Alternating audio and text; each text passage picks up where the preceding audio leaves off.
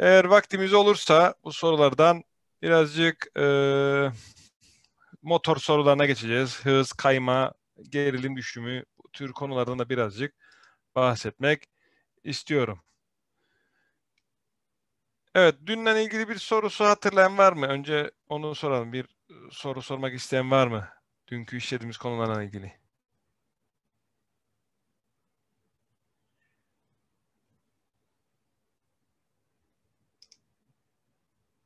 Yok.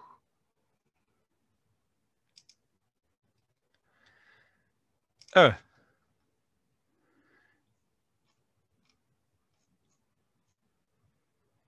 Şimdi arkadaşlar buradaki önce güçlere geçmeden önce hem kondansatörleri de hatırlamış oluruz. Hocam Serkan Bey yazdıydı. Kus- Kusura bakmayın böldüm ama. Nerede? Ben görmedim. Sorusu var mı? Chattadır. Chatta. Buyurun Serkan Bey. Bir e, sanırım şeyden soracak bize. Sesli sormak istiyor. Yok. Evet, sınıfta hesap makinesi kullanabilirsiniz bildiğim kadarıyla. Bunda herhangi bir şey değişiklik yok. Evet. Ne oldu görüntüye?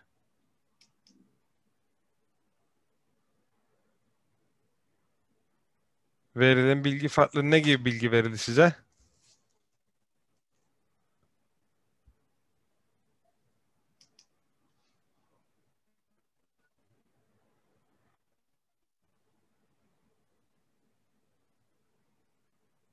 Benim sesim gelir mi? Yani görüntüm gitti de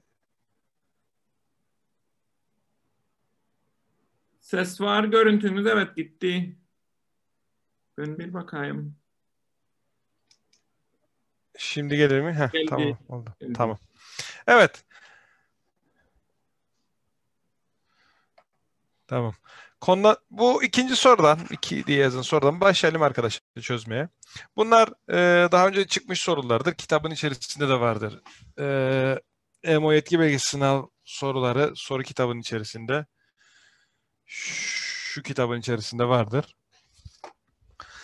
Kondansatörün arızalandığı tespit ettiğiniz tek fazlı bir motor için 45 mikrofarad değerinde kondansatör kullanmanız gerekiyor. Elinizde yalnızca 20 mikrofarad kondansatörler bulunmaktadır. Bu motorun sorunun giderilmesi için en az sayıda 20 mikrofarad kondansatör kullanarak nasıl bir bağlantı yapmalısınız? Elinizdeki kondansatörler 30 mikrofarad değerinde olsaydı nasıl bir bağlantı kurardınız? Şimdi arkadaşlar kondansatörleri nasıl bağlıyorduk biz? Seri ve paralel bağlantılarını yaptığımızda eş değerleri nasıl buluyorduk? Direncin tam tersi değil mi arkadaşlar?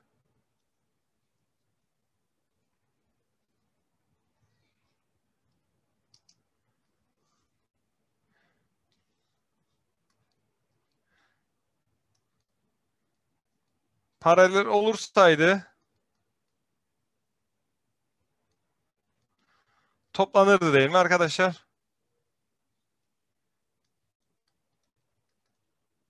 C1 ve C2'nin toplamıydı. Seride ise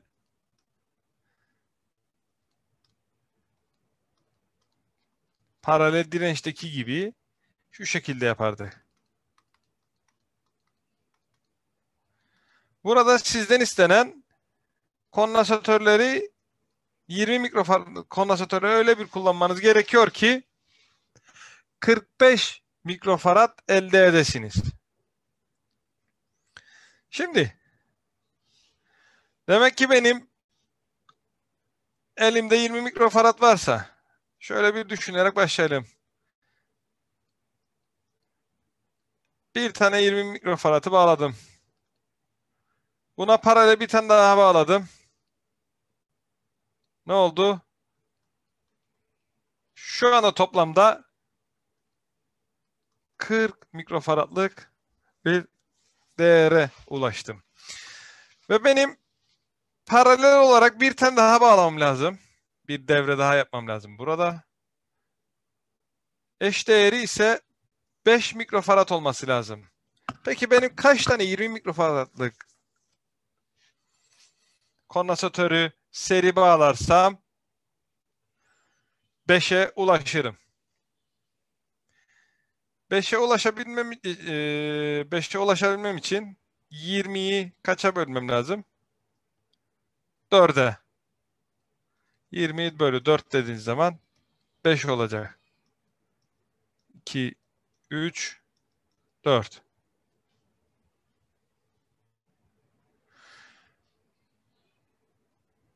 20 20 Bunlar toplayalım. Paralel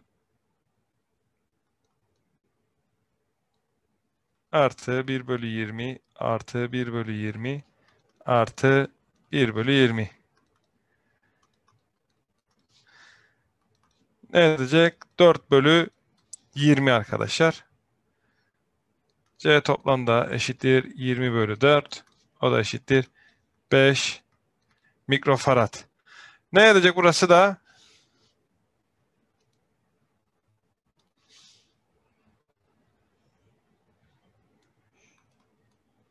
Beş mikrofarad.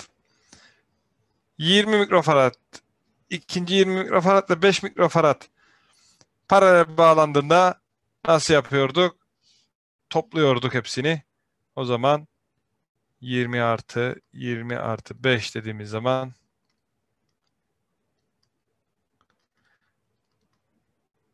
kırk beş mikrofarad olur.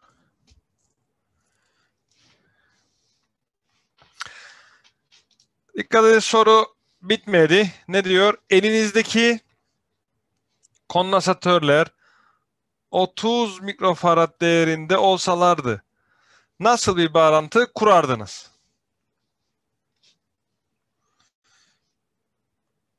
Bu sefer ne yapmamız gerekir? Bakın. Bunu da kırmızı karına çizeyim. 3 tane seri dedi Seyfi Bey. 3 tane seri yaparsanız 30 bölü 3'ten 10 olacak. Ben bir tanesini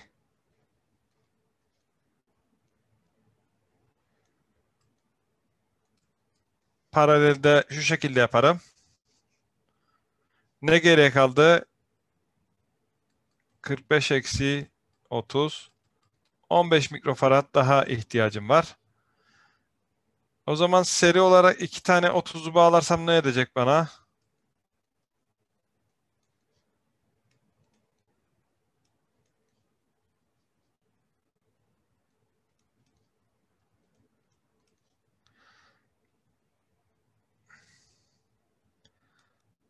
Bir bölü C toplam dediğimiz zaman 1 bölü 30 artı 1 bölü 30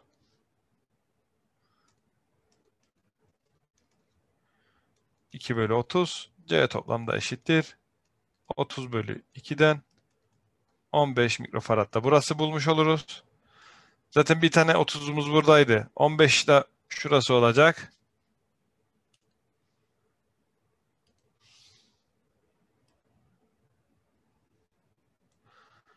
On beş mikrofarad. Toplamımız ne olacak arkadaşlar? C eşdeğer için 30 artı 15 dediğimiz zaman 45 mikrofarad olacaktır. Anlaşıldı mı? İki paralel, iki seri.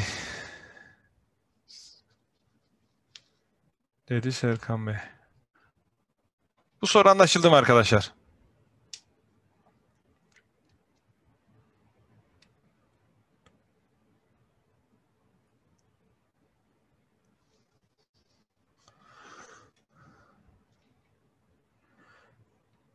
Evet.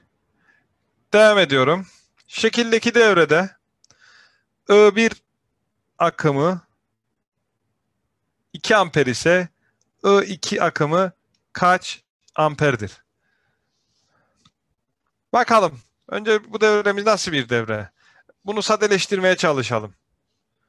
Değil mi arkadaşlar? Şuraya bakın bir düğüm noktamız burada var. Bir düğüm noktamız da burada var. Bunlara A noktası diyebiliriz. Buradaki düğüm noktasına da B noktası. Sonuçta bakın kısa devreyle bağlanmış. O zaman şeklimiz şöyle olur mu?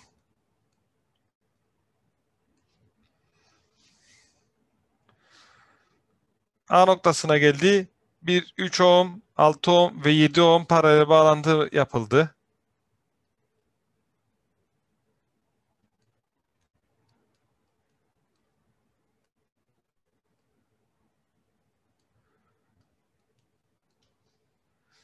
Ve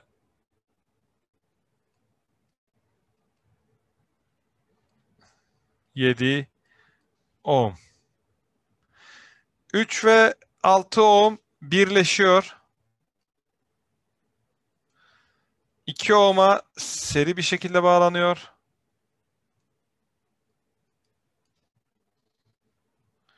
Daha sonra yine aynı şekilde kollara ayrılıyor. 12 ohm ve 4 ohm B noktasında birleşiyor.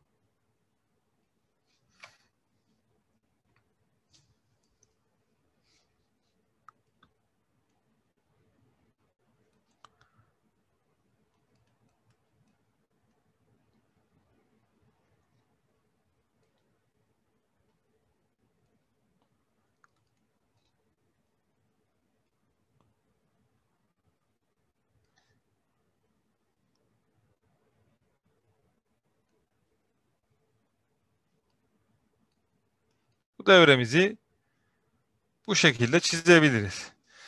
Bakın bize ne sormuş? Burada insert şey, şekli I1 akımı demiş ki 2 amper.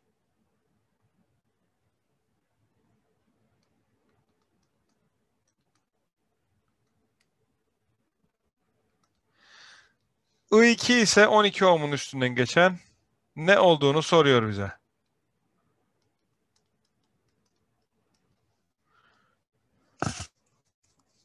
Evet.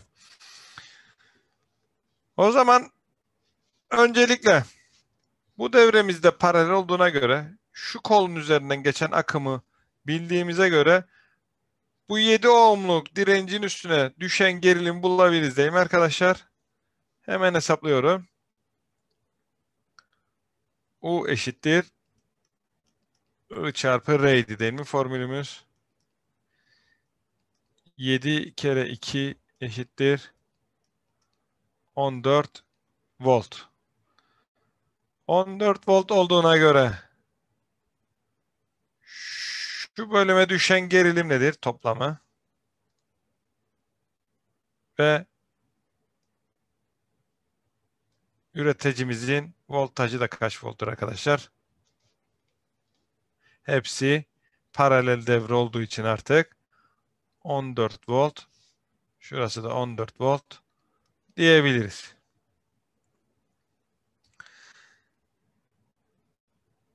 Önce bu üst kısmı biraz sadeleştirelim. Şurada 3'den 6 ohm paralel şekilde bağlanmış. Önce o bölümü çözelim. R1 diyelim oraya.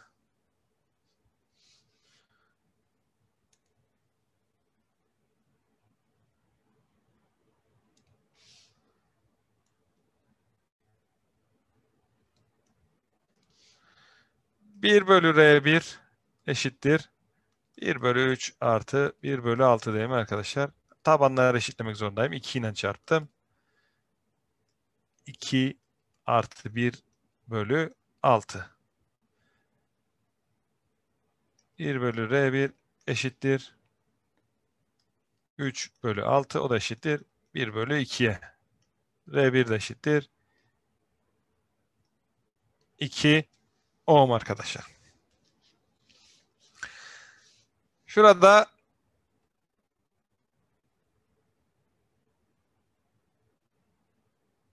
R2'yi hesaplayalım. 1 bölü R2 de eşittir. 1 bölü 12 artı 1 bölü 4 değil mi arkadaşlar? Tabanları 12 eşitleyeceğim. 3 ile çarptım.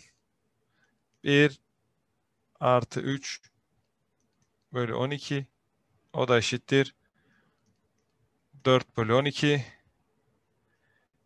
R2 de eşittir. 12 bölü 4'ten 3 ohm elde edeceğiz. Oluşacak eşdeğerleri kullanırsak yeni devrimizde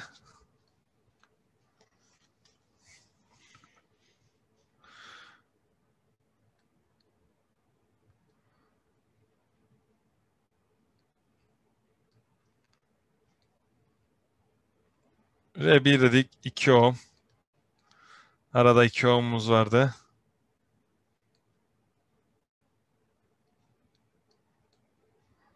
Sonra R2'de 3 ohm.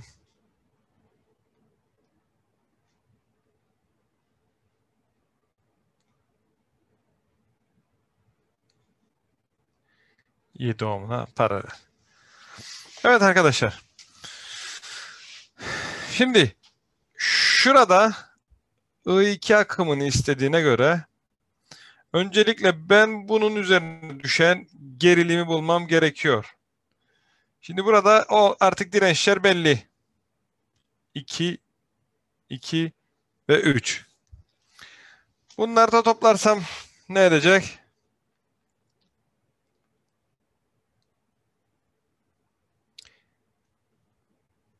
Yedi ohm üst taraf alt tarafta 7 ohm elde edeceğiz.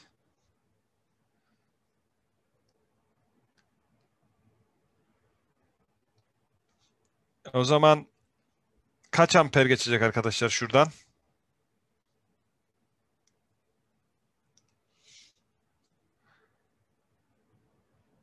Bir nasıl buldunuz? Umut Bey. 2 amper. Önce şuradaki I akımını bulalım. I akımı eşittir. U bölü R değil miydi? 14 bölü 7 eşittir 2 amper.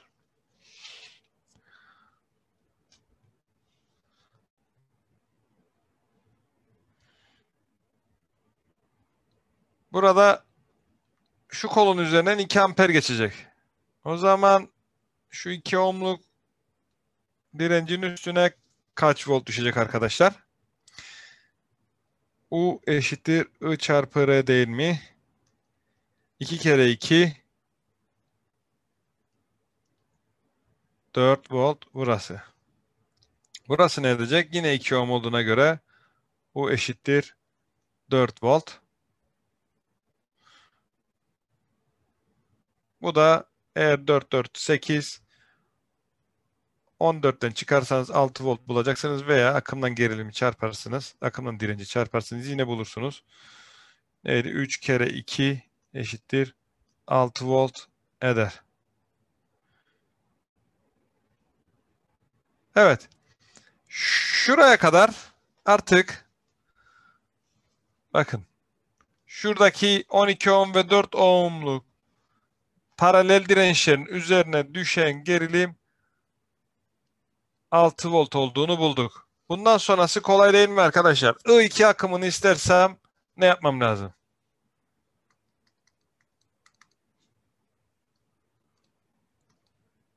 O bölü R değil mi?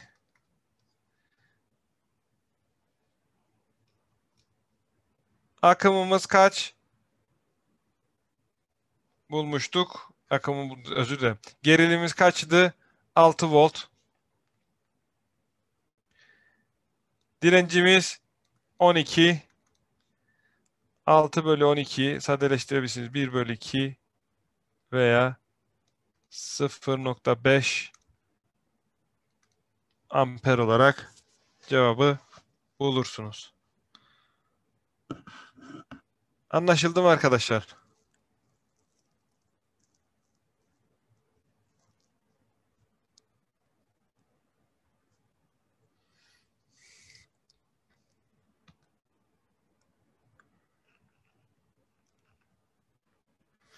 Devam ediyorum.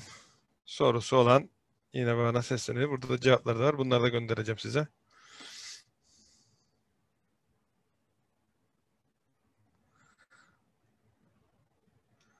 Evet. Yavaş yavaş güç sorularına doğru kayıyoruz. Aşağıdaki devrede I1, I2, I3 ve IT akımlarını B şıkkı devrenin toplam gücünü hesaplayınız. Bakalım. I1, I2, I3 ve IT ana kol akımını istiyor bizden. Devrenin toplam gücünü hesaplayınız. Devrenin de gücünü nasıl hesapladık arkadaşlar? P eşittir U çarpı I formülünden hesaplamaz mıydık? Başlayalım. A şıkkından sırayla gidelim.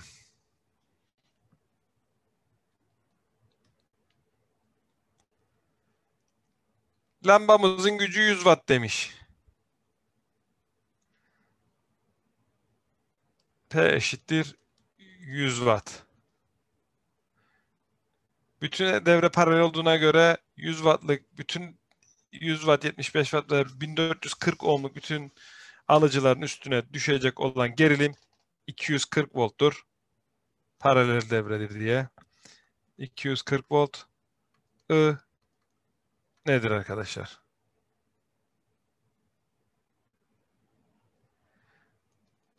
I'nın formülü P bölü U değil mi?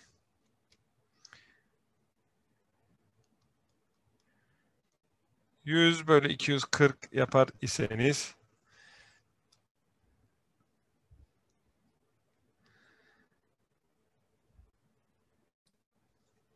I1'i bulacaksınız.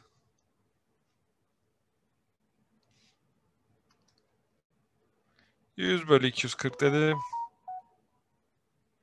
0.42 amper. Ömer Bey dikkatli bölün lütfen. 100 bölü 240 dedik. 240 bölü 100 demedik.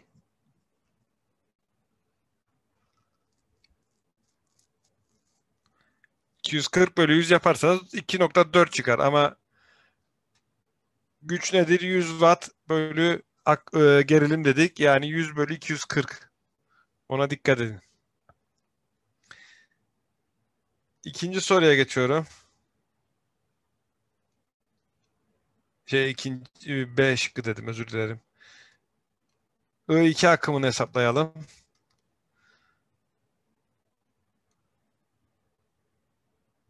P bölü U dedik. 75 bölü 240 0.31 dedi Uğur Bey. 240 0.31 amper. I3 nedir arkadaşlar? Bu sefer ohm, for, ohm kanunundan kullanarak yapacağız. Nedir? O bölü R. 240 bölü 1440 demeniz gerekir.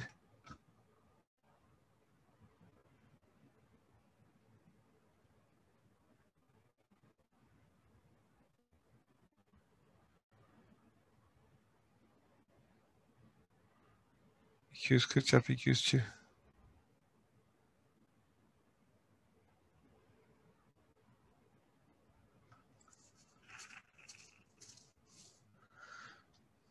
Bir saniyecik.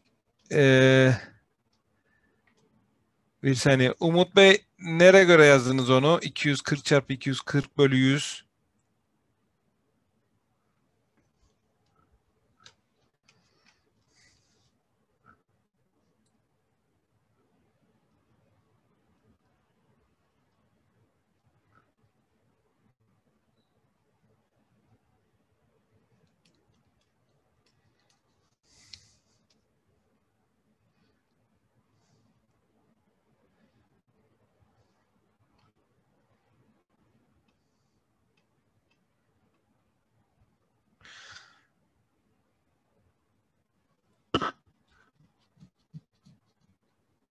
Yalnız o U çarpı U bölü I formülü U kare bölü I.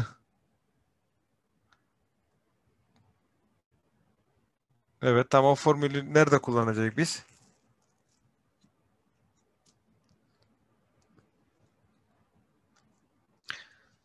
Yani çok fazla olay karıştırmanıza gerek yok Umut Bey.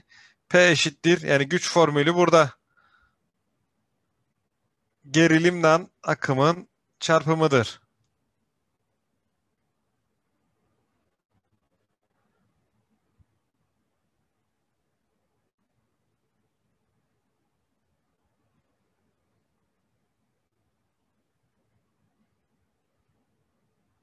Yani biz burada akımı bulmak istediğimiz için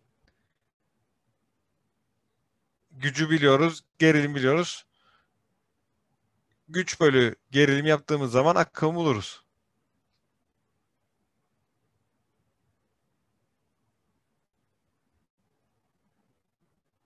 Soru kitapçındaki formüldür bu. Hocam demiş. Bakarız ona. Hangi formüle baktınız siz?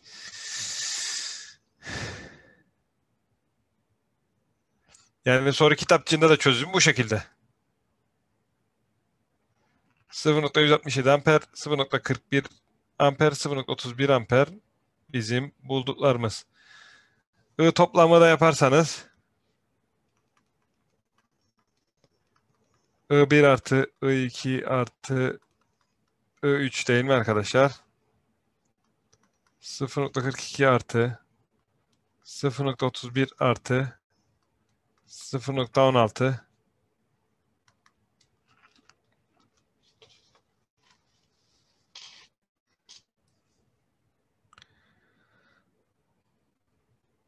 42 artı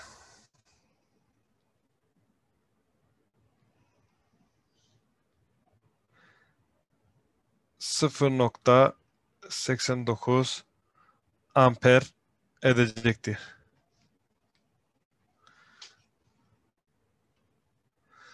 Devrenin toplam gücünü bulmamız istedi. Devrenin toplam gücünü de şu şekilde hesaplayabiliriz değil mi? U çarpı I. Toplam akım biliyoruz. Gerilim de biliyoruz. 240 çarpı 0.89 dersek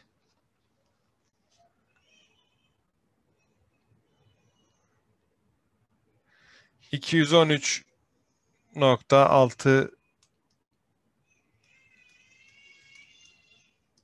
watt olur.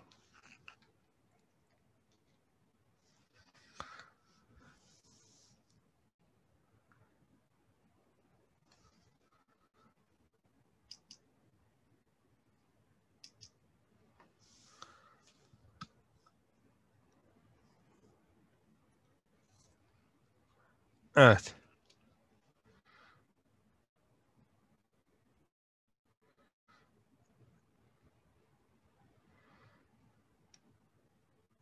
Biz de yaklaşık olarak aynı değerleri bulduk cevapla. Bunu geçiyorum. Bu geri düşümleri anlatınca geleceğim buraya. Evet.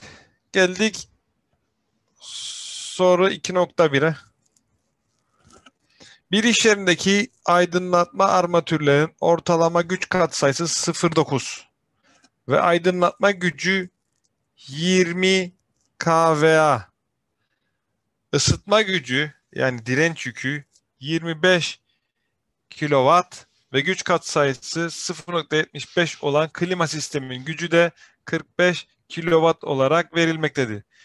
Tüm yükler devredeyken iş yerinin toplam aktif gücünü şebekeden çekilen toplam akımı iş yerin ortalama güç katsayısını hesaplayınız. Evet. Bizim dün gördüğümüz bu güç soruları.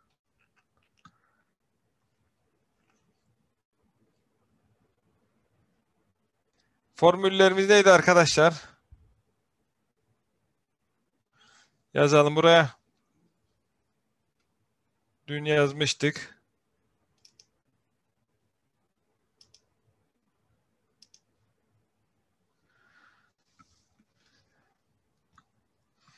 P eşittir U çarpı I çarpı kosinüs fi aktif güç için.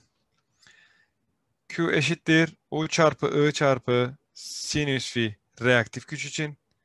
S de eşittir U çarpı I görünür güç için. Üç fazlı sistemlerde P eşittir kök 3 çarpı 415 çarpı akım çarpı kosinüs fi. Q yani reaktif güç kök 3 çarpı 415 çarpı akım çarpı sinüs fi ve görünür güç ise kök 3 çarpı 415 çarpı akım. Peki şuradaki soruya dönersek ben burada tek faza göre mi formül yapacağım? Üç faza göre mi?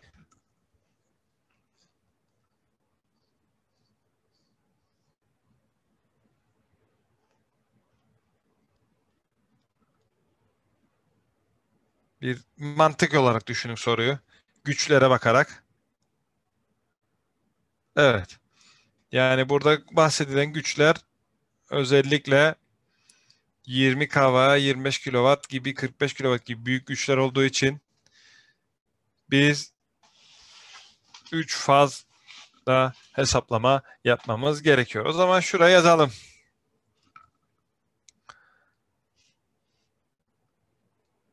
Aktif güç için kök 3 çarpı 415 çarpı I çarpı kosinüs fi. Güç katsayısı. Bu nedir? Aktif güç.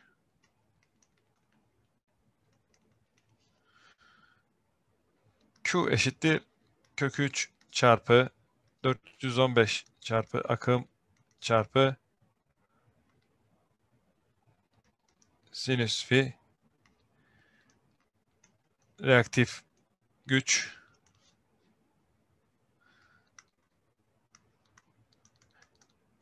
Bu da görünür güç hesabı.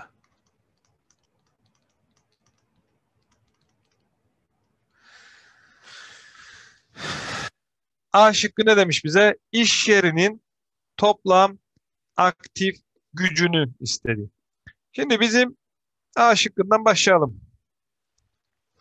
Aktif gücü istediğine göre şuradaki formülü kullanacağız. Bir iş yerindeki aydınlatma armatürün ortalama güç katsayısı 0.9 ve aydınlatma gücü 20 kVA yani kilovolt amper çarpımı olduğuna göre ben formülün içerisine nasıl yerleştireceğim arkadaşlar?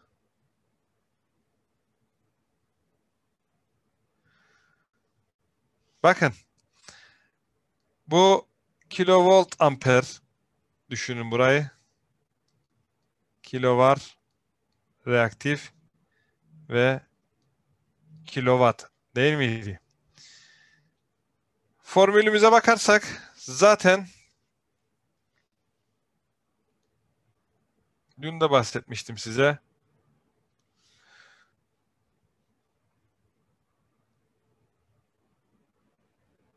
Burası zaten S.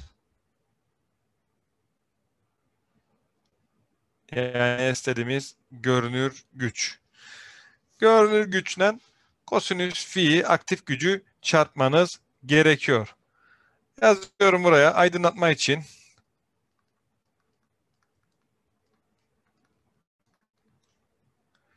P eşittir. Ne yazmam gerekir? 20 çarpı 0.9 ne yazacak arkadaşlar cevap?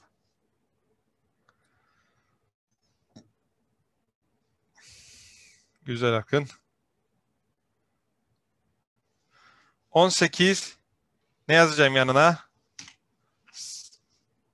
18 watt yazacağım, kilowatt yazacağım. Ne yazmam gerekir? Kilowatt dediler. Kilowatt mı? Neyi bulduyduk biz?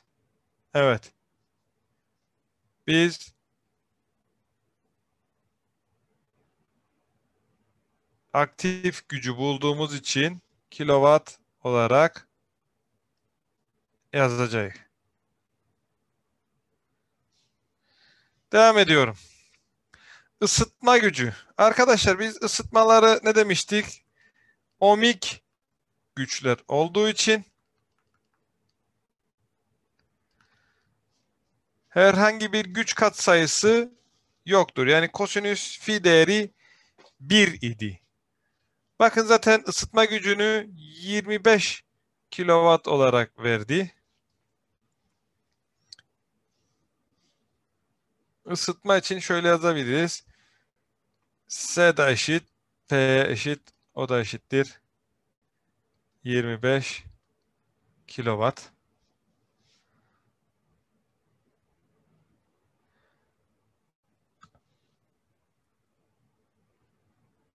Şeye bakalım klimanın sistemine. Peki klimada nedir durum? Ne olarak bize verdi?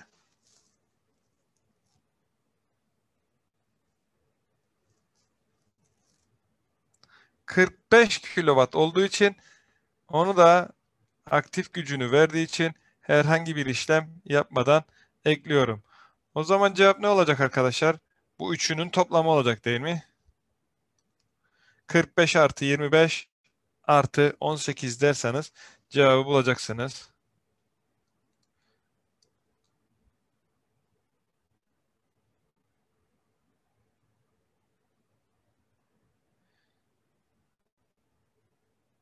Sekiz otuz beş nereden geldi?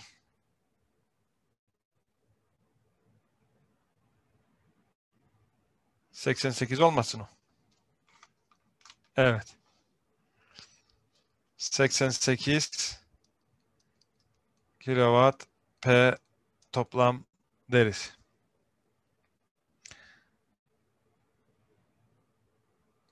B şıkkı. Şebekeden çekilen toplam akımı ve iş yerin ortalama güç katsayısını ekle e, hesaplayınız. Şimdi şebekeden çekilen toplam akımı dediğiniz zaman Şöyle bir durum var. Siz 88 kilovatı direkt olarak gerilime bölüp hesaplayamazsınız değil mi arkadaşlar? Aksi takdirde yanlış yapmış olursunuz. Çünkü neden? Çünkü burada değişik farklı sayılarda güç katsayısı olan e, elemanlarımız var. Armatürler var mesela. Güç katsayısı 0.9. Klima sisteminin güç katsayısı ise 0.75. Bunları göz ardı ederseniz yaptığınız işlem yanlış çıkacaktır. Peki o zaman benim şebekeden çekilen toplam akımı nasıl bulacağım? Ya görünür gücü hesaplayacağım.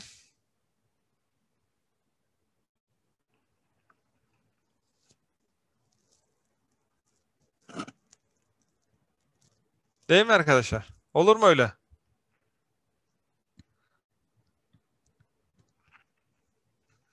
ve iş yerinin ortalama güç katsayısını hesaplayalım ona göre. C şıkkını da bulalım. Başlayalım. B şıkkında önce görünür güç hesaplayalım.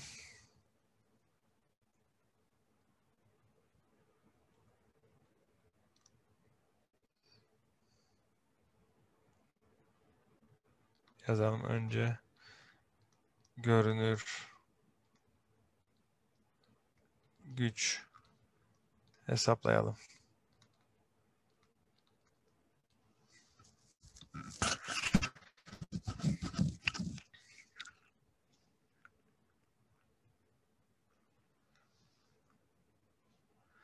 Ön başlayalım aydınlatma için.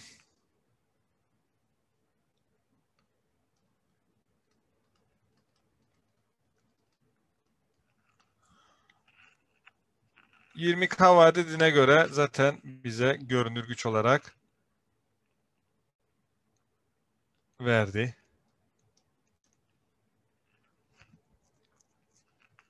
Peki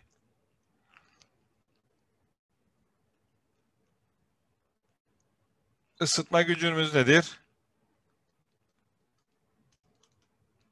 Isıtmada ise ohmik yük olduğu için ne demiştik biraz önce de yukarıda? Görünür güç ve aktif güç birbirine eşittir değil mi arkadaşlar?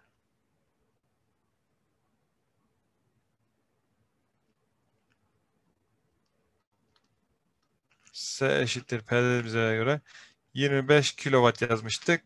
Bunu da kilovolt amper olarak yazabiliriz.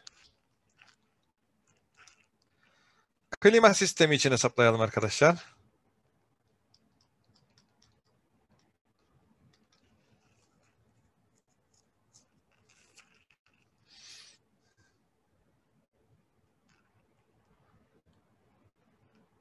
Klima sisteminde e, görünür gücümüz nedir?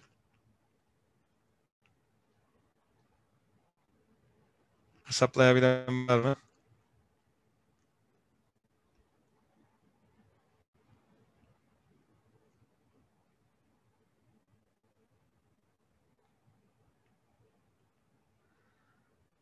Şöyle yazayım ben onu. Bakın klima sisteminin gücü 45 eşittir S çarpı kosinüs V'dir.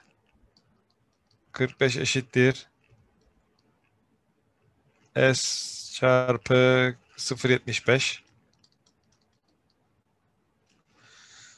S de eşittir 45 bölü 0.75 hesaplayabiliriz. 45 bölü 0.75 yaparsanız ne bulacaksınız arkadaşlar? 60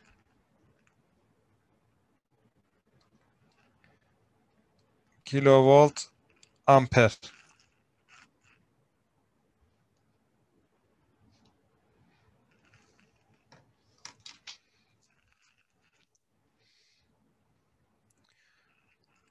S toplam dersek yani görünür güçlerin toplamı 20 artı 25 artı 60 dersek arkadaşlar 60 20 80 105 kVA olmuş olacak. Peki arkadaşlar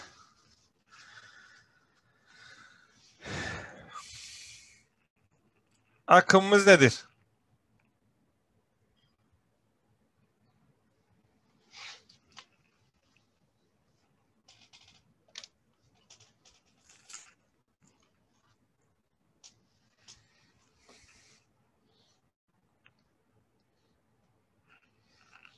Formülümüzü yazalım buraya. Nereye gittim? Bulamadım ben. Aktif e, görünür güç formülümüz neydi? Kök 3 çarpı 415 çarpı akımını değil mi? Akımı yalnız bırakmamız gerekiyor. Akım eşittir. S bölü kök 3 çarpı 415. S değerimiz neydi? 105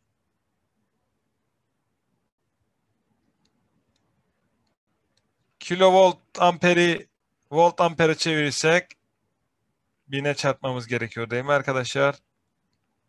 105 bin bölü kök 3 çarpı 415 dersek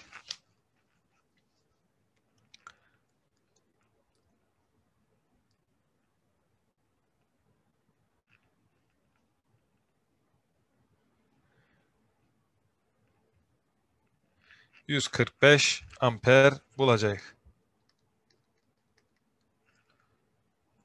145.8 dediği 145 amper diyebiliriz. Bu da bizim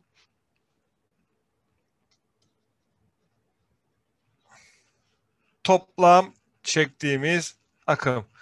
Görüyorsunuz ki arkadaşlar watt cinsinden eğer biz yapmış olsaydık 88 kilovata göre yapmış olacaktık ve bu sefer çıkacak olan hesapta yanlışlık yapmış olacaktık. Şimdi bakalım.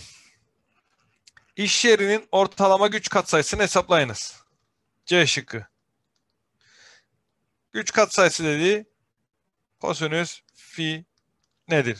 İş yerinin toplam güç katsayısı.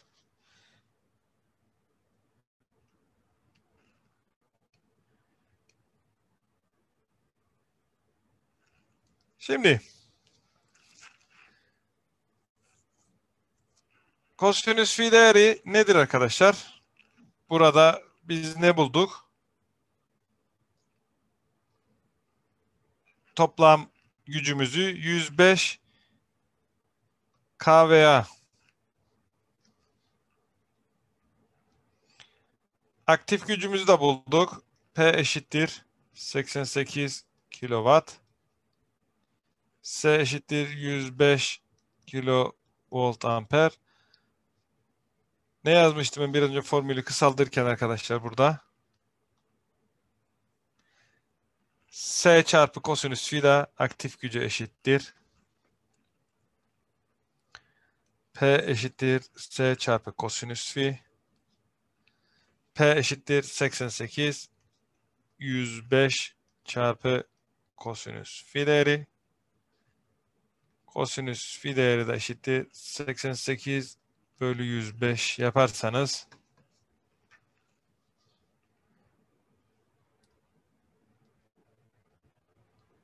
bölü 105 0.84 diyebiliriz.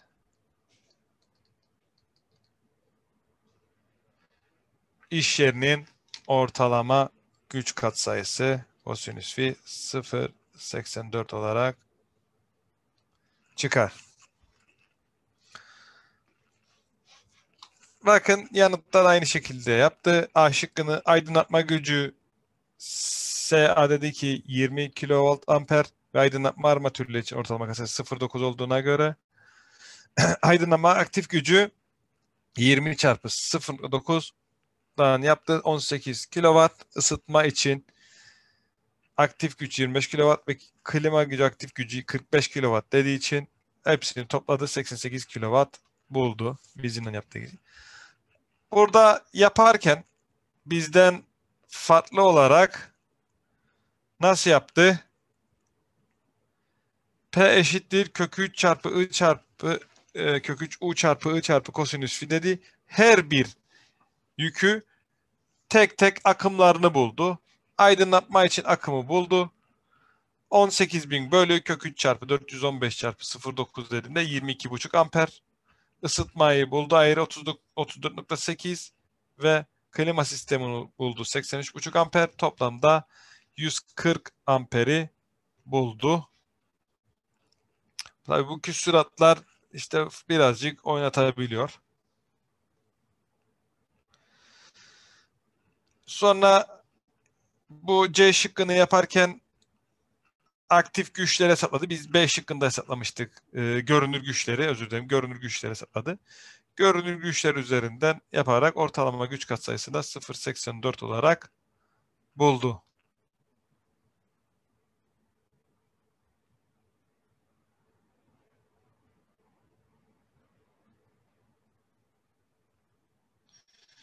Şimdi o güç kaç sayılarını toplayıp ikiye bölme işlemi olmaz. Mesela ee, birazdan birkaç örnekte göreceksiniz.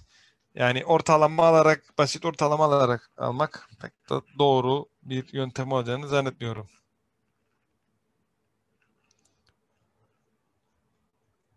Yani var mı başka bir soru göstereyim sana bunu?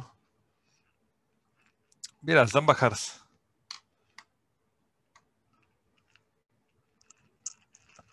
Evet. Devam edelim. Bir iş yerindeki motor devrelerin toplam gücü 20 kVA ve bu devrelerin ortalama güç katsayısı 0.75'tir. Bu iş yerinin diğer devrelerin tümü direnç yüklerinden oluşmaktadır. Bu devrelerin toplam yükü de 22 kW olarak verilmektedir. Tesisat 3 faz olarak döşenmiş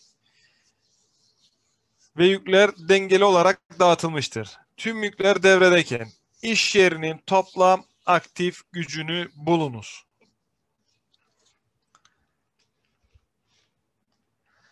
Aktif güç dediğimiz neydi? P eşittir kök 3 çarpı 415 çarpı akım çarpı kosinüs fi. Bunu hemen ben yazdım formülümü. Ona göre aşağıda çözümleri yapmaya başlayacağım. Şimdi motor devrelerinin toplam gücü 20 kW. Yazalım. Motor devresi için diyelim.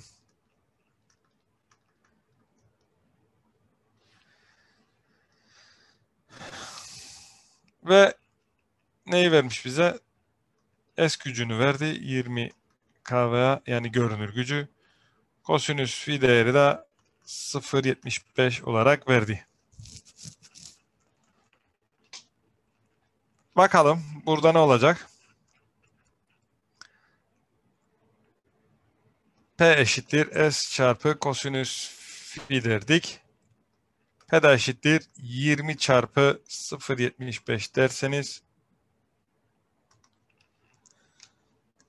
15 mi edecek?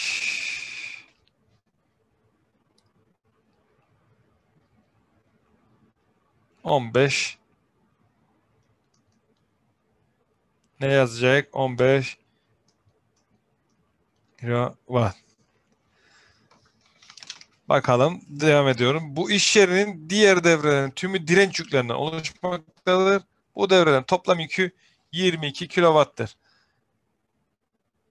P direnç dediğimiz zaman da 22 kilowatt olduğunu söylüyor. O zaman ne yapacağız? P toplam eşittir. P motor artı P direnç diyeceğiz. 15 artı 22 dediğimiz zaman 37 kilowatt olarak cevabımız çıkacaktır. Her fazdan çekilen akımı bulmak istiyoruz. Yükler dengeli olduğuna göre her fazdan da çekilecek akımlar da eşit olacak değil mi?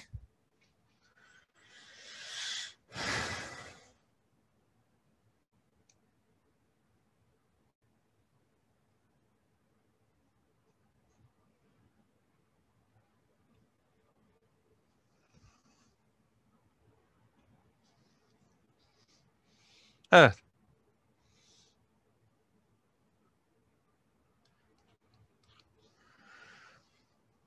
B şıkkını yapalım.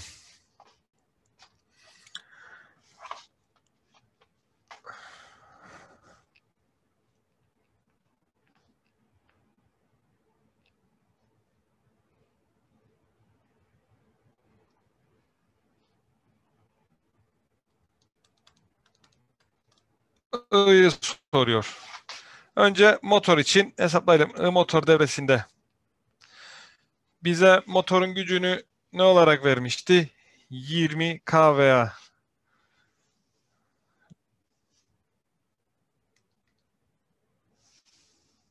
Akımın formülü neydi? S'ten hesaplarsak yani görünür güçten kök 3 çarpı 415 çarpı I'ydı değil mi?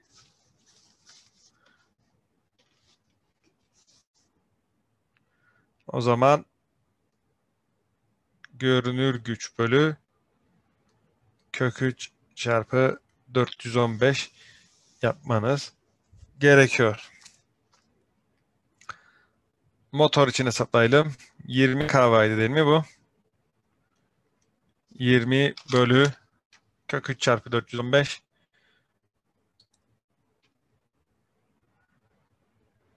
ya da 20 bölü 3 bunu ne yapmanız gerekecek? 20 bin olarak yazmanız gerekecek.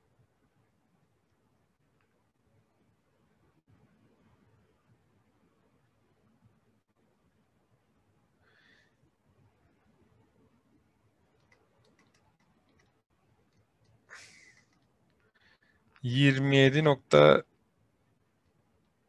yetmiş yedi diye gidiyor. 78 amper olarak motorunu hesapladım. Peki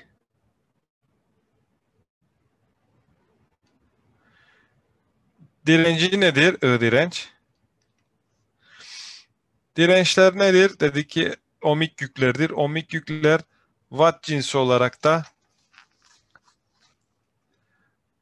e, volt amper birbirine eşittir. S direnç eşittir P direnç şeklinde deriz. O zaman P direnç 22 kilovolt amper olarak da diyebiliriz. 22.000 bölü kök 3 415 eğer dersek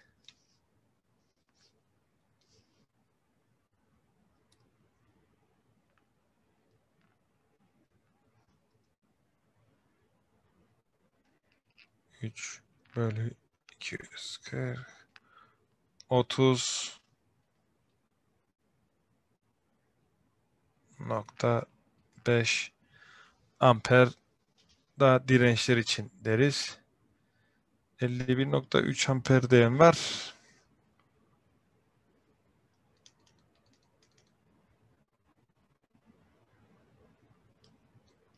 Otuz nokta beş beş beş, otuz nokta beş, otuz nokta altı değerinde var. Otuz nokta altı alabiliriz. Beş beş beş gidiyor bu. Artı yirmi yedi nokta yetmiş sekiz.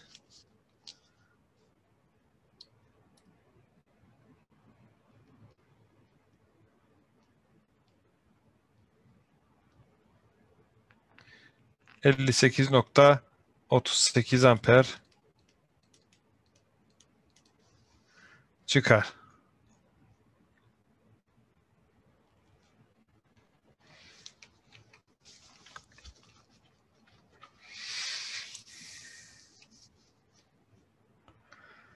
C şıkkına bakalım.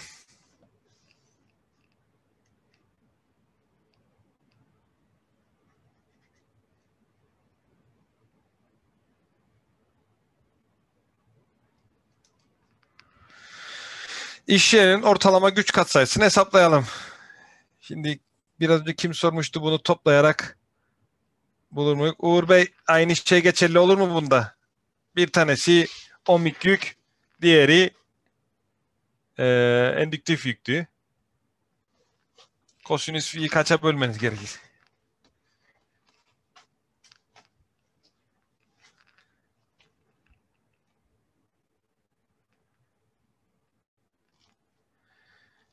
Şimdi P toplamımızı bulmuştuk biraz önce.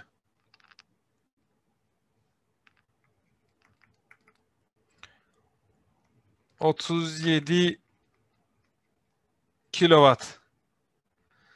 S toplamımız yani görünür gücümüz nedir arkadaşlar? Toplam görünür güç.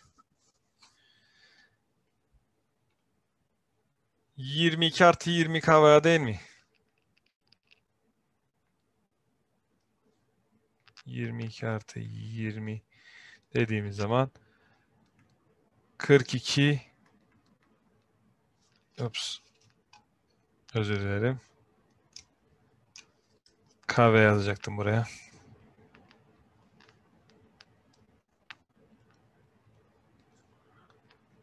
Kahve yazamadık.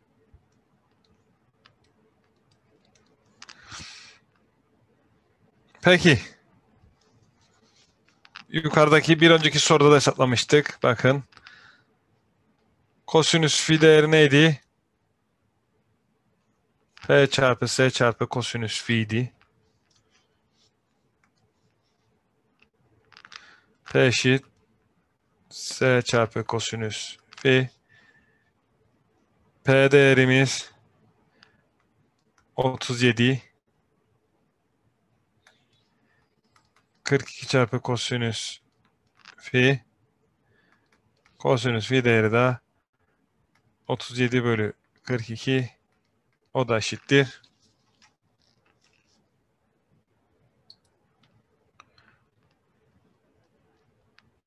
Sıfır seksen sekiz.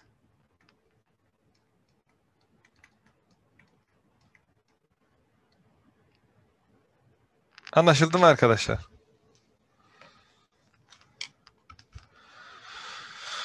Hocam isterseniz bir 10 dakika ara verelim. Saat 7'yi geçti. Olur. Herkes tabii ki herkes isterse bir yazsınlar.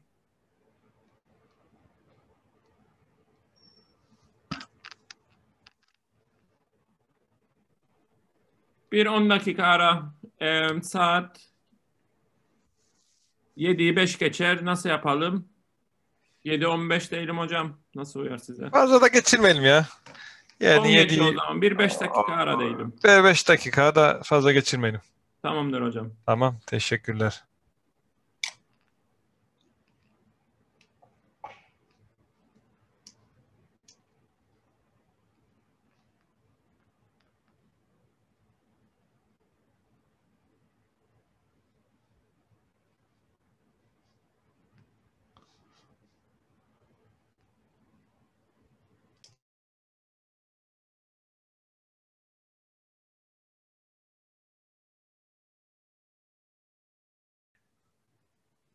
Üç kilowatt 50 Hz etiket değerine sahip bir su ısıtıcısında 250 volt uygulanırsa su ısıtıcısının çekeceği akım ve gücü hesaplayınız. 230 volt uygulanırsa su ısıtıcısının çekeceği akım ve gücü hesaplayınız. Bir su ısıtıcısı siz bu soruyu cevaplayabilirseniz iyi olur. Çekeceği akım ve gücü uyguladığım gerilime göre değişiyor mu arkadaşlar?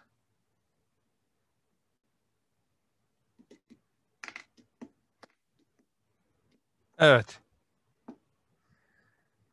Evet dedi bir arkadaşımız. Doğru Seyfi Bey. Dirençtir.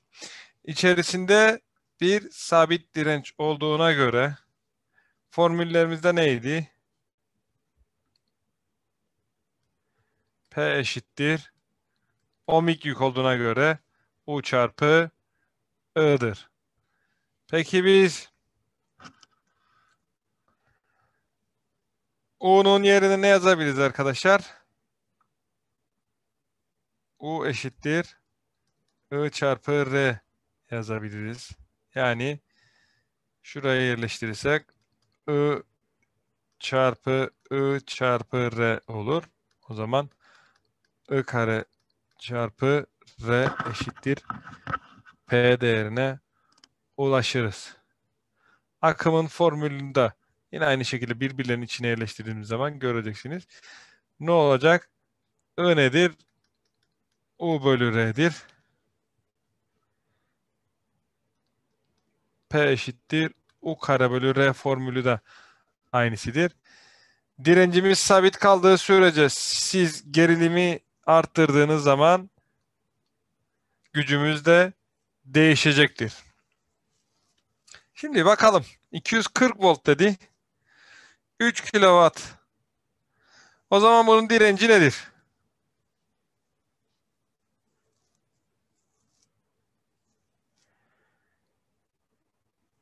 Hesaplayalım hemen arkadaşlar. Şu formülü de kullanabilirsiniz. İsterseniz siz e, ayrı ayrı da hesaplayabiliriz. Mesela P eşittir U çarpı I'yi kullanarak gidelim önce. Akımını bulalım. Çektiği akımı. Gücümüz 3000. Gerilim 240. Akım nedir? I eşittir. 3000 bölü 240 yaptığınız zaman 12 nokta 5 diyen var. Bak hemen daha teyit etmek için. 3000 bölü 240 dedim. 12,5 amper olarak bulurum. Direncin formülü neydi? R eşit O bölü I değil mi? O gerilimiz 240 bölü 12 buçuk.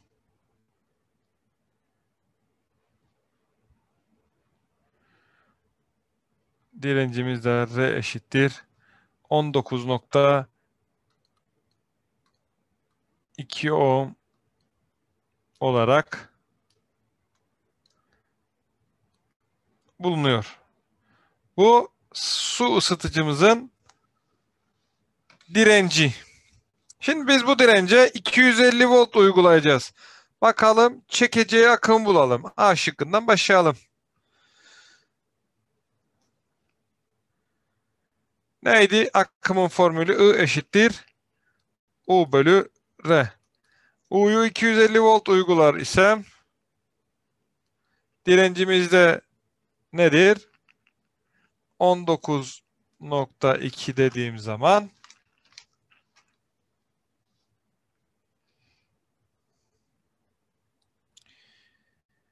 ...250 bölü 19.2... ...13 amper...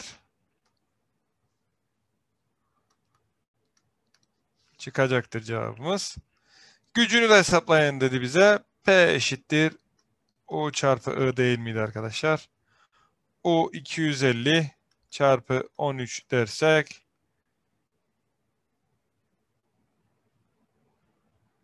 üç bin iki yüz elli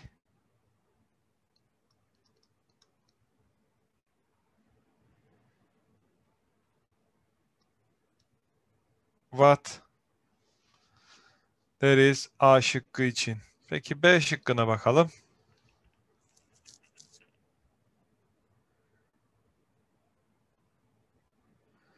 230 volt uygularsak ne olacak dedi. I'ya bakalım. I eşittir.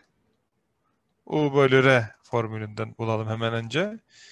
230 bölü 19.2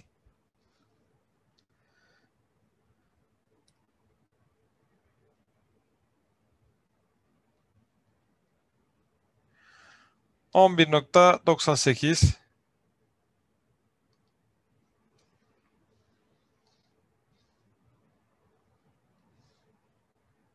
11.98 ne olacak? Amper. P eşittir. Gücü eşittir. U çarpı I. 230 çarpı 11.98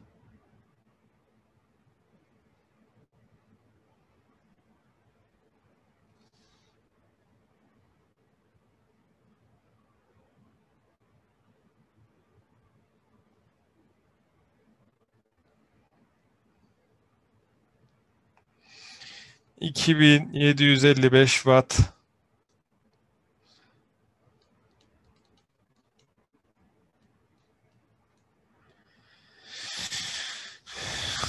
Görüyorsunuz arkadaşlar.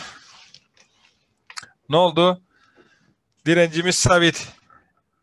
Uyguladığımız gerilimi artırırsak çekilecek akım artıyor ve çekeceği güç de artıyor gerilimi düşürdüğünüz zaman çekilecek akım ve gücü de düşecektir.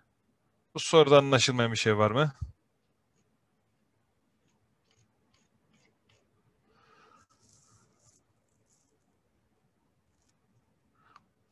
Buraya kadar her şey anlaşıldı mı?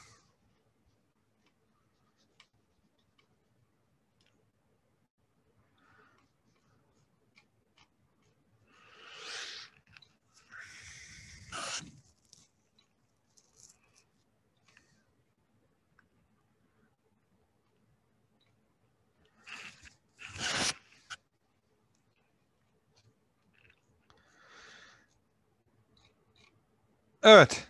Ee, bu sorunla ilgili önce kısa bir bilgi vereceğim size. Gerilim düşümü nedir? Ve kurallarla ilgili bir bilgi vereceğim. Ondan sonra devam edelim. Öncelikle gerilim düşümü nedir arkadaşlar? Bilgisi olan var mı?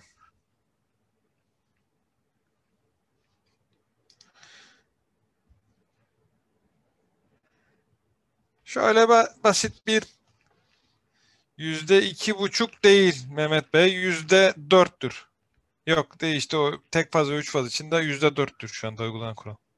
Benim bildiğim yüzde iki buçuk yazdığınızda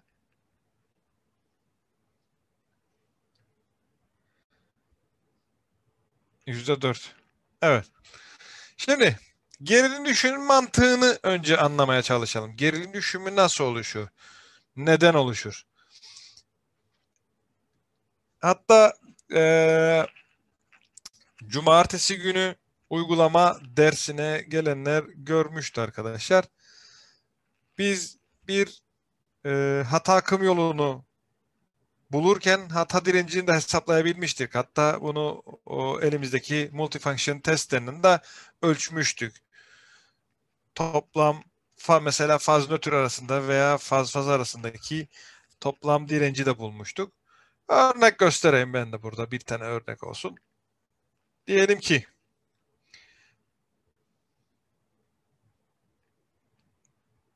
...240 volt gerilim uyguluyoruz.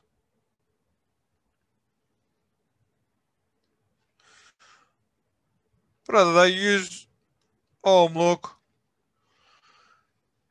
bir direncimiz olsun. Normalde biz kabloları ya da şuradaki iletkenleri dirençlerini yok sayarak hesaplarız değil mi arkadaşlar? Ve buradan geçen akımı bulmak istediğimizde I eşittir ne yapardık? I eşittir U bölü R 240 bölü 100 deriz. Çekilecek akım da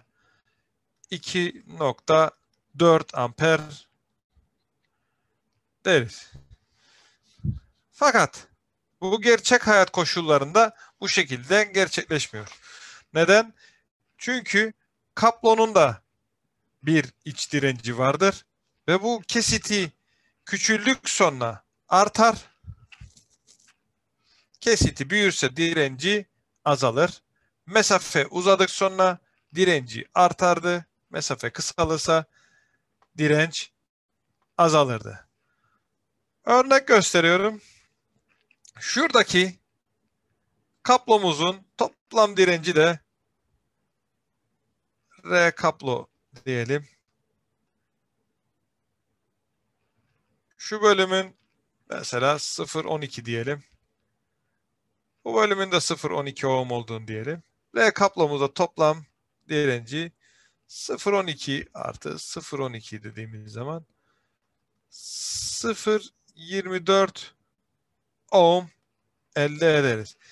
Bunu ideal çizimi şu şekilde olacak artık. İdeal kaplo olduğunu sayarsak R kaplo eşittir 0.24 ohm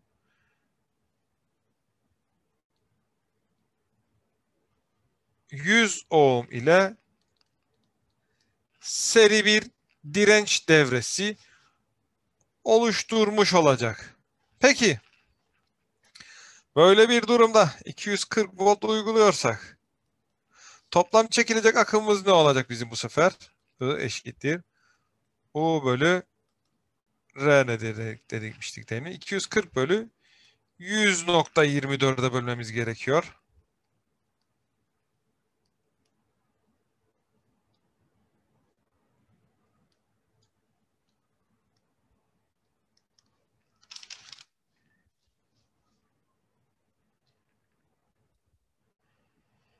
...240 bölü 100 nok 100.24 dersem çıkacak cevap 2.39 amper. O zaman direncimin üzerine düşen gerilim ne olmuş olacak? Şurada U eşittir I çarpı R değil miydi arkadaşlar? I da 2.39 çarpı 0.24.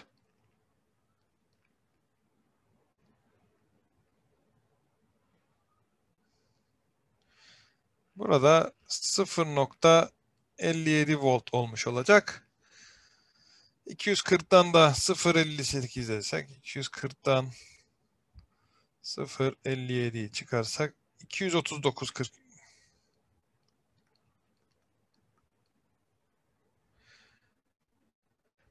normalde ideal olarak bizim 240 volt gelmesi gerekirken 0.57 volt kablonun üzerine düşüyor. İşte bu arkadaşlar bizim aslında gerilim düşümü dediğimiz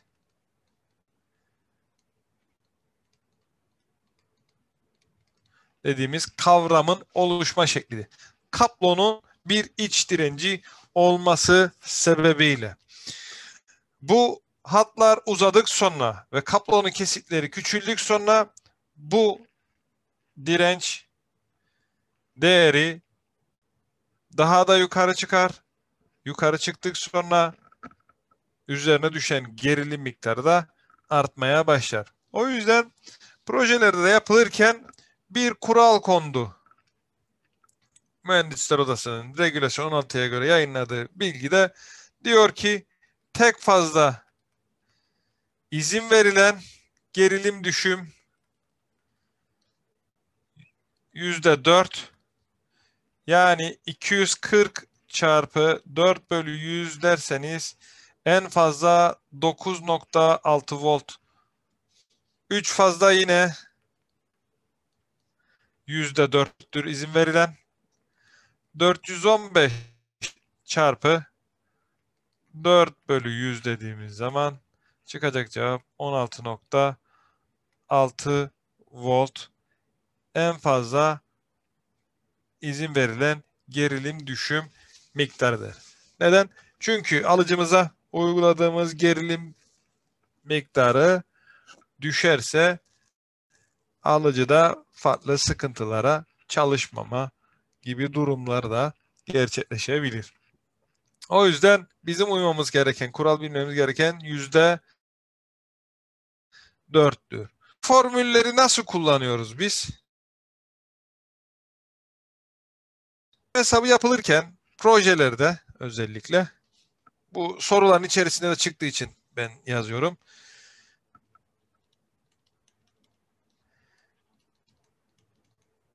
Gerilim düşümünü bulurken milivolt cinsinden çıkar bir cevap. Mesafe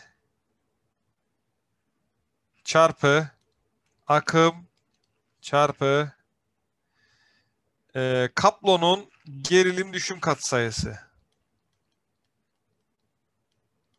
Bu da kitaplarda vardır. Gerilim düşümü katsayısı. Bu regülasyon kitabının içerisinde her kablo kesitinin ne kadar olduğu belirtilir. Sorularda da çıkarsa zaten size bu gerilim düşüm katsayısını verir. Bu da milivolt bölü amper çarpı metredir. Şimdi burası anlaşıldıysa soruya geri döneceğim. Anlaşıldı mı arkadaşlar? Gerilim düşümü nedir? Neden olur?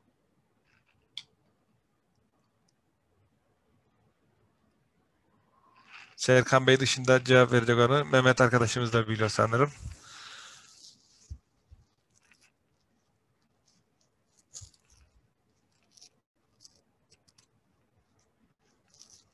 Teşekkür ederim Uğur Bey.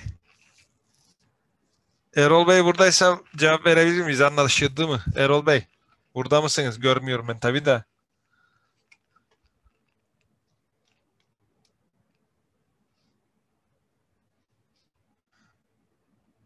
Evet.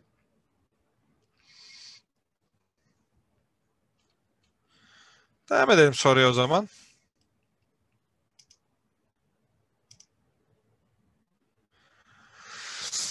Ana dağıtım panosundan 400 metre uzakta olan ve üzerinde 6 adet 240 volt 1000 wattlık halojen projektör bulunan aydınlatma direğinin üzerine kuracağımız 3 fazlı bir dağıtım panosu tali pano ile direkler direkteki lambaları çalıştıracağız. A şıkkı demiş ki ADT yani ana dağıtım panosu tablosu ya da tali pano arasında çekilecek olan kablonun kesiti en az ne kadar olmalıdır? ADT içerisine bu amaç için monte edilecek kesici kaç amperlik olmalıdır? Bakalım. Şimdi A şıkkından başlayalım. Kalemin ucunu bulursam. Evet.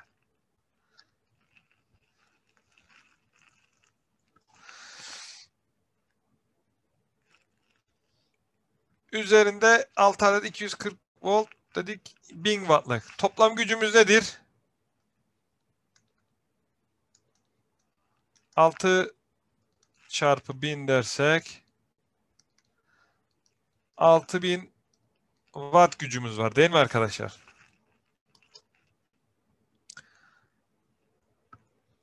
Altı bin watt kaç amper akım çekecek? 240 volttan çalıştıklarına göre U eşittir. Ee, özür dilerim bunu yazdım yanlış yazdım. Silemedim.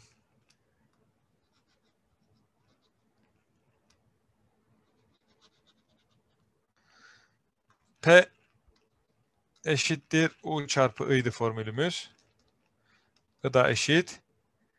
P bölü U. 6000 bölü 240 dersek 25 mi? Uğur Bey tam nettir.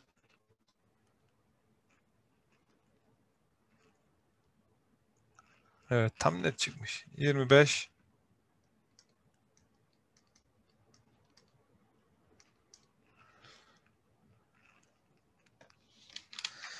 Evet. 25 amperi taşımak için biz en az ne kadar kaplo, e, kaplo eşitliğimiz en az ne kadar olmalı arkadaşlar?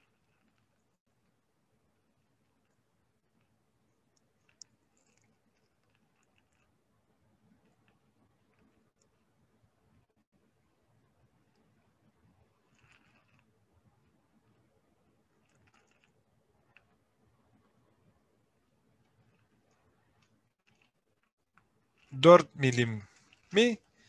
Görelim.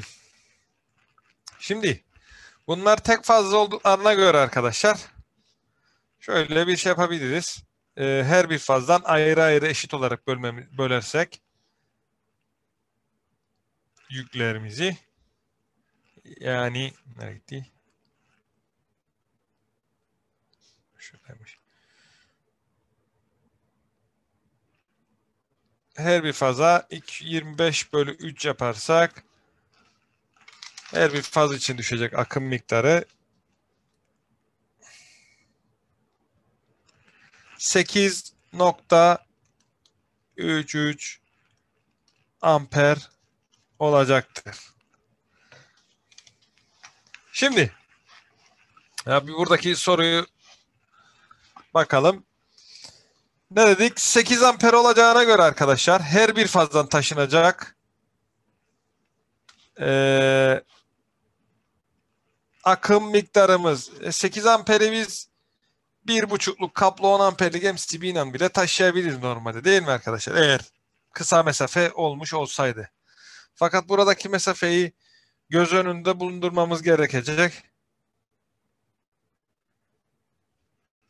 Çünkü neden? Burada kalemlerde uzunluk nedir arkadaşlar? 400 metre.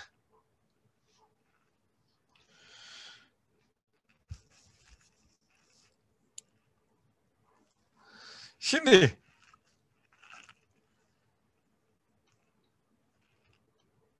bakalım.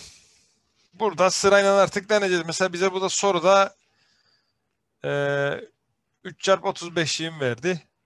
Artık %4'tür. Çünkü buradaki cevap %2,5'a göre hesaplanmıştır. %4'e göre izin verilen gerilim düşüm miktarı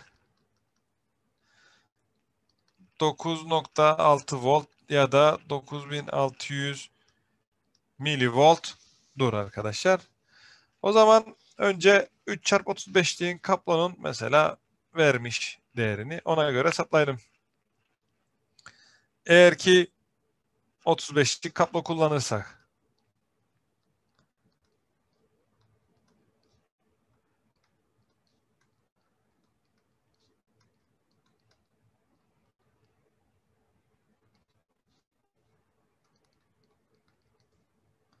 Tabii bize diğer kabloların da milivolt olarak vermesi gerekiyor ki daha kolay hesaplamalar yapabilelim. Şimdi gerilim düşümü eşittir mesafe çarpı akım çarpı neydi? Gerilim düşüm katsayısı. K diyorum ona da. Mesafe 400. Akımımız 8.33 çarpı 35'i kaplonun 1.2'di değil mi arkadaşlar? Bakın. Şu değeri alıyorum.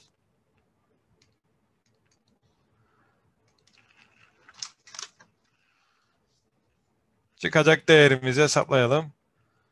400 çarpı 8.33 çarpı 1.2 dediğimiz zaman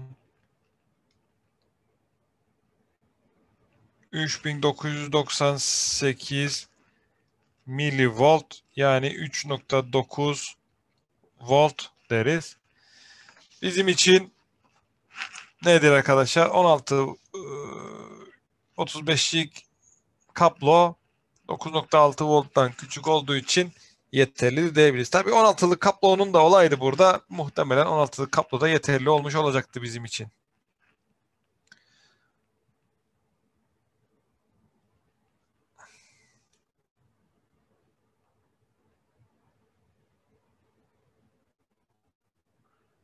Bakın burada ne yaptı? Gerilim düşümü yüzde iki buçuk aldı. Artık biz bunu değiştirdik.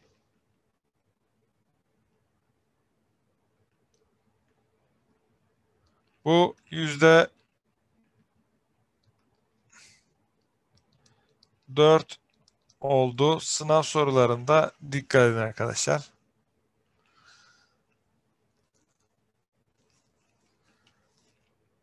Peki. Burada kullanacağımız MCB değeri ne olacak arkadaşlar? Veya kesici. Ee, sigortalar diyelim. Kesici demeyelim.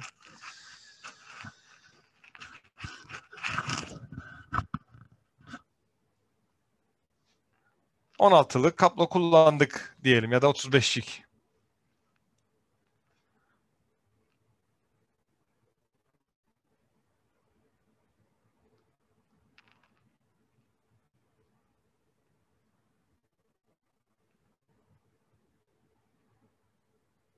Otuz beşlik ise 100 amper dedi Umut Bey. Peki ben burada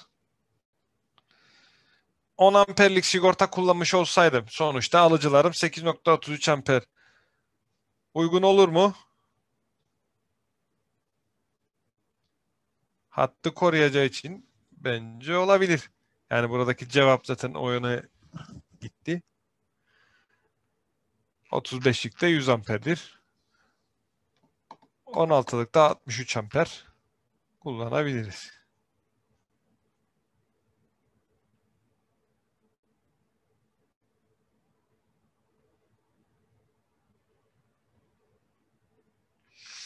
Şimdi Uğur Bey o sorduğunuz soruda mesafe uzun olduğu için ısınma olmaz mı dediniz.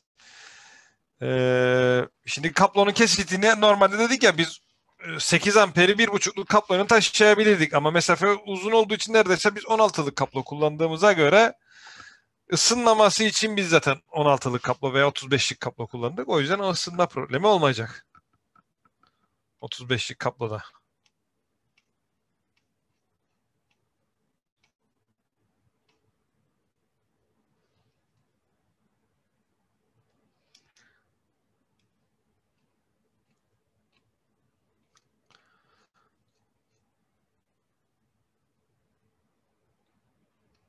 Evet. Şurayı Beşinci soruya bakalım burada. Birazcık büyüteyim bu sorular görünmeyebilir.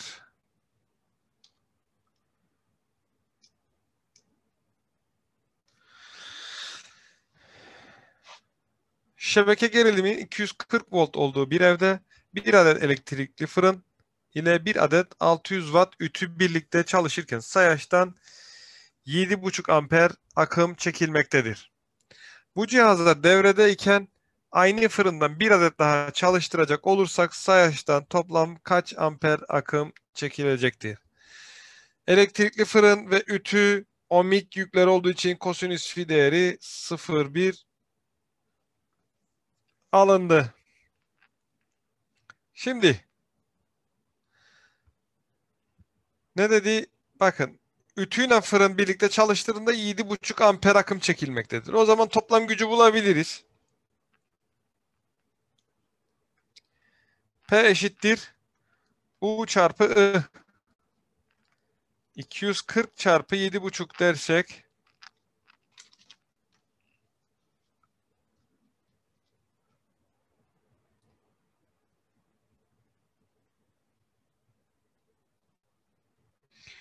bin sekiz yüz watt değil mi arkadaşlar? Şimdi aynı fırından bir adet daha çalıştıracağız dediğine göre P fırın eşittir. P toplam eksi P ütü değil mi? P toplam 1800 olduğuna göre çıkartsak 600 wattlık ütüyü P fırın 1200 watt deriz.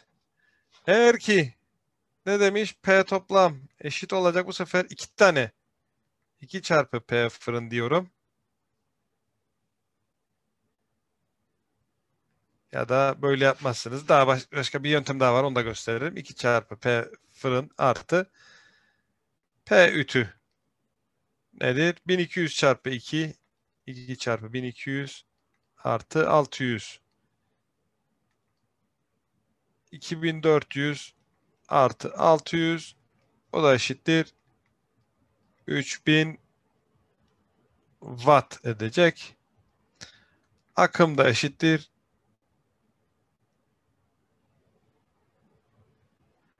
3000 watt bölü 240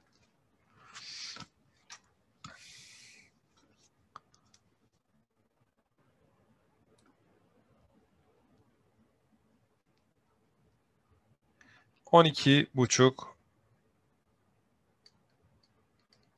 amper.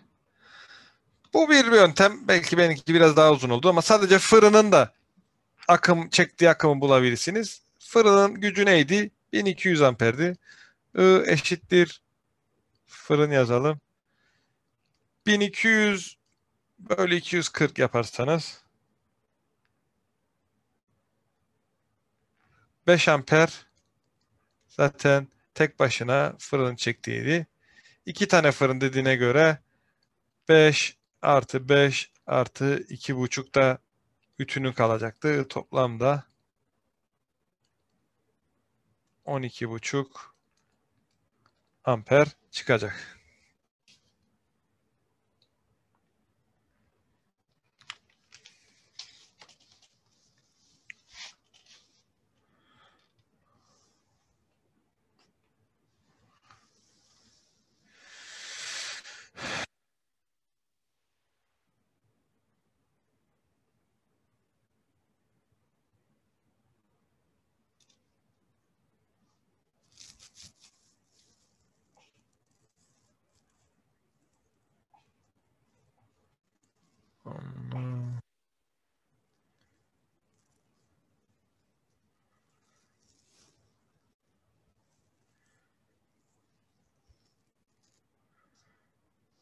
Burada bir tane test sorusu da vardı. Evet. Şunu yapalım.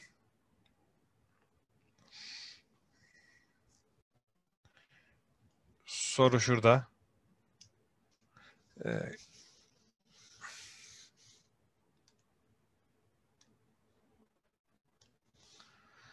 ...1200 watt gücündeki elektrikli bir cihazın güç katsayısı 0.707 ise reaktif gücü nedir? Evet. 2 dakika süre versem arkadaşlar bu soruyu çözebilir misiniz? Sarı ile işaretlediğim yeri. 1200 watt gücündeki elektrikli bir cihazın güç katsayısı 0.707. Reaktif gücünüzü bulmanızı istiyorum.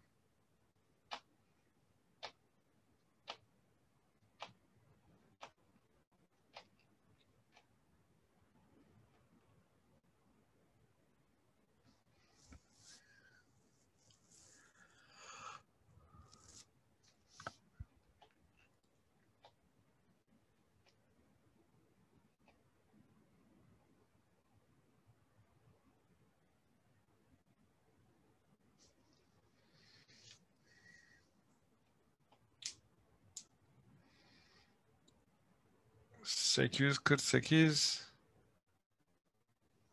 Evet 5 şıkkı diyenler var. Güzel. Bakalım hesaplayalım isterseniz. C olması lazım demiş bir kişi. Figen Hanım.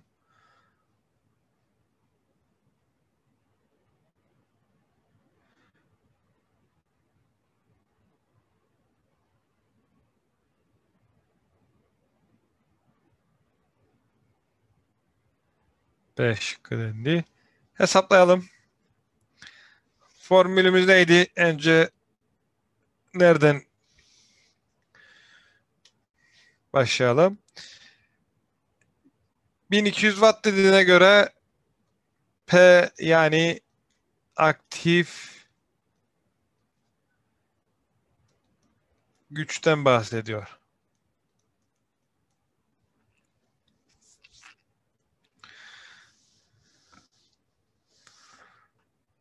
Aktif gücü nasıl hesaplardık? P eşittir.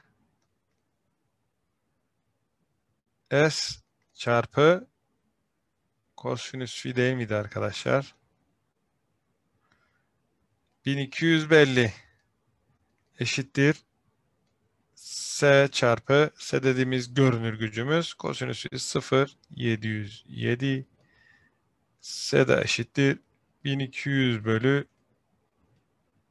0.707 yapıyorum. Önce görünür gücü bulmak için.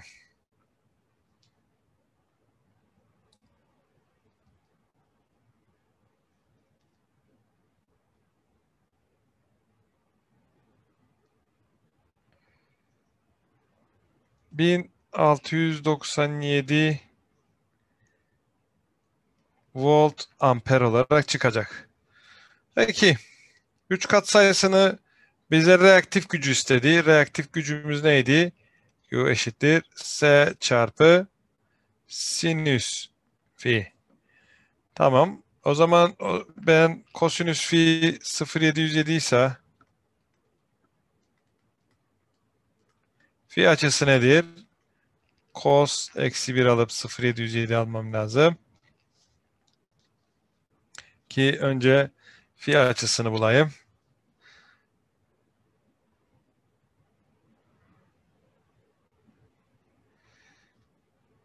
Kırk beş derece çıktı.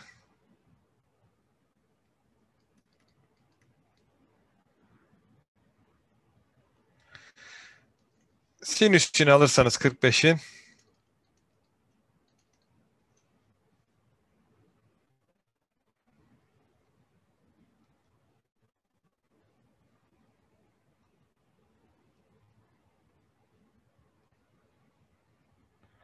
Sıfır yedi yüz yedi yine çıkacak.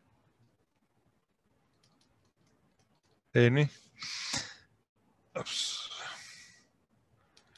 O zaman 1900 1697 çarpı 0.707 derseniz çıkacak cevap 1200 var reaktif olacak. Yani C şıkkı.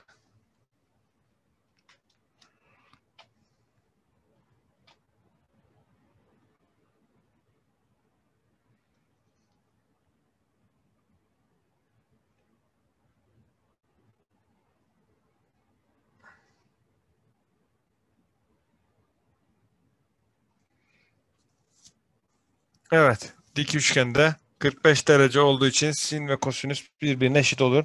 Doğru dediniz Serkan Bey.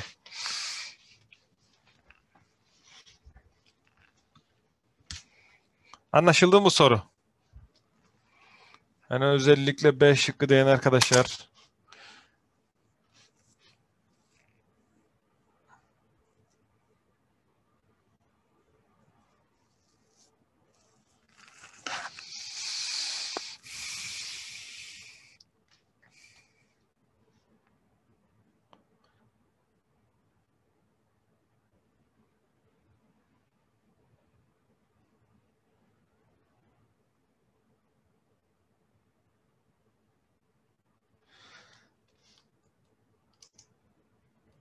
Evet. Bir narenciye bahçesine kazılmış kuyu üzerine yapılan bahçe evini 3 katsayısı 0.8 olan 3 kahvalık bir su motoru ve bir adet 100 wattlık lambadan oluşan bir tesisat kurulmuştur. Motor ve lamba 2 saat 15 dakika çalıştırılsa şebekeden çekilecek enerji ne kadar olur? Şebekeden kaç amper akım çekilecektir? Evet. Şeke, e, şebekeden çekecek enerjiyi sorduğuna göre kilowatt saat olarak istiyor bizden değil mi cevabımızı? O zaman bakalım. Önce su motorundan başlayalım.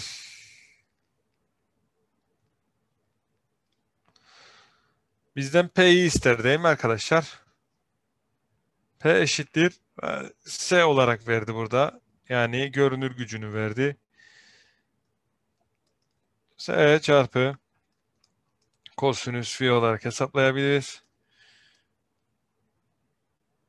3000 çarpı kosinüs fi değeri de 0.8 ise çıkacak olan aktif gücümüz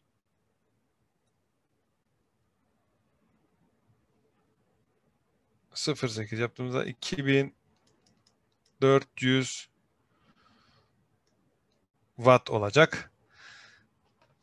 Peki bir de bir adet de lamba olduğuna göre 100 wattlık da lamba P toplam ne deriz arkadaşlar? 2400 artı 100 dediğimiz zaman 2500 watt ya da 2,5 kilowatt saat. Şey özür dilerim. Kilowatt saat dedim. Kilowatt. Daha saatini hesaplamadık. Uğur Bey 6.25 kilowatt saat toplam dedi. Devam edelim o zaman biz de hesaplayalım. Şimdi A şıkkına gelelim. Motor ve lamba 2 saat 15 dakika çalıştırılırsa 2 saat çalıştırırsam önce 2,5 çarpı 2 dediğim zaman çıkacak cevap 5 kilowatt saat. Peki 15 dakika için nasıl bir çarpım yapmam lazım?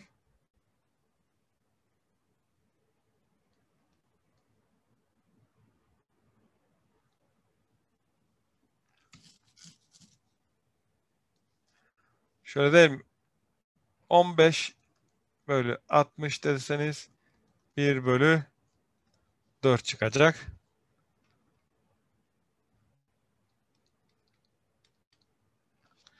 İki buçuğu dörde bölmek gerekiyor.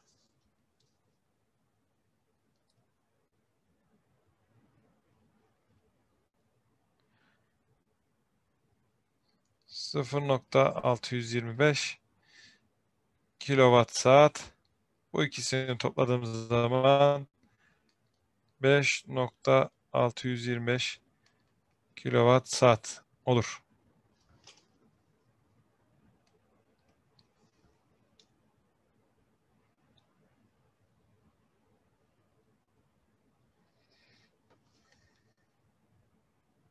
Uğur Bey, dikkat ettiniz mi nerede yanlış yaptığınıza? Ha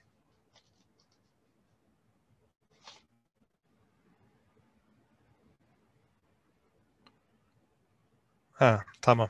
Okey. Anlaşıldı. O zaman 0.625 dediğiniz 2'yi de topladı. Evet.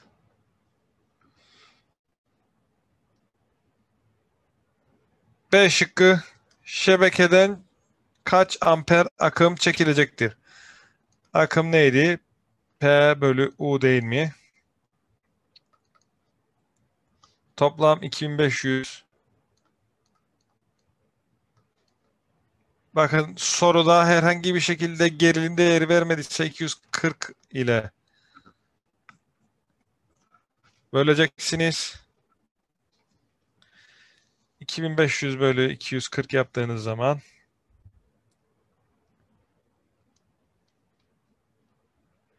on nokta 41 amper cevap çıkacak. Dedik ve yanlış yaptık biz de. Neden arkadaşlar? Bu şekilde yaptığımız için yanlıştır.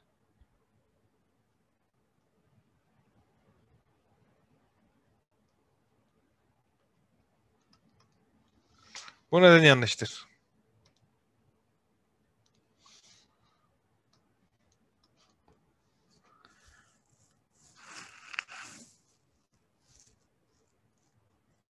Burada ben yanlış yaptım. Neden?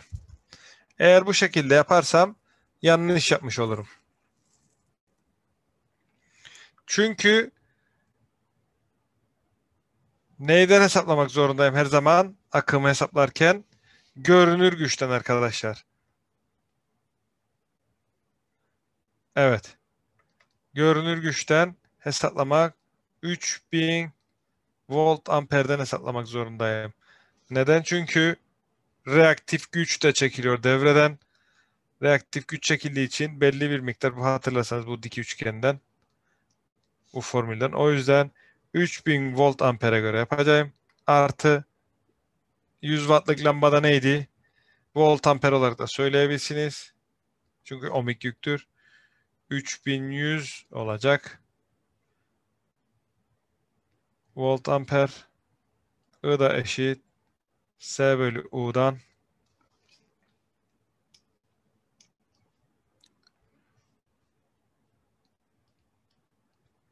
üç bin bölü iki yüz kırk üç bin yüz.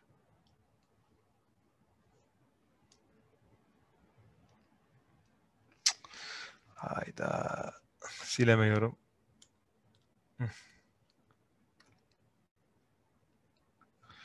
3100 bölü 240 12 nokta kaç edecek?